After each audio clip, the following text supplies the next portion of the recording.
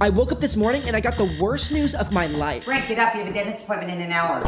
The problem? Six months ago, I pinky promised my dentist I would floss every day. But I lied. I haven't flossed since. I knew I had to make up for lost time. I quickly rushed to my sink to aggressively brush and floss, but I ran out of time. Hurry up, you're gonna be late.